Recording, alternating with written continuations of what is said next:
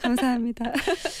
질투의 역사 내일 개봉하는데요. 네. 음, 로맨스 영화기도 하잖아요. 그러니까 네, 결국은 그렇죠. 사랑에 대한 네. 질문을 좀 던질 것 같은데 남규리 씨가 생각하는 사랑은 무엇인지. 음, 네, 제가 어릴 때 엄마한테 음. 저희 어머니께서 노래를 굉장히 잘하시거든요.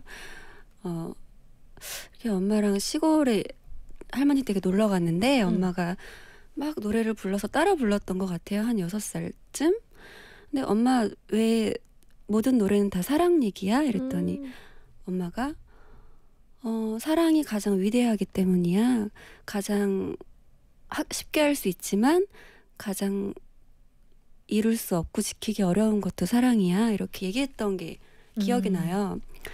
근데 그걸 크면서 제가 사랑에 대해서 많이 생각을 해봤는데 뭐 친구와 연인과 동료와 뭐 많은 사람들과 소통을 하면서 느껴봤는데 아 정말 사랑으로 뭐든지 이룰 수도 있고 사랑이 없으면 뭐든지 파괴될 수도 있다는 사실을 조금 이렇게 더 나이가 들어감에 따라 느끼는 것 같아서 음. 네 사랑의 힘은 위대하다 음.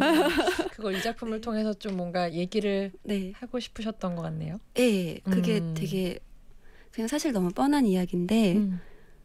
그게 또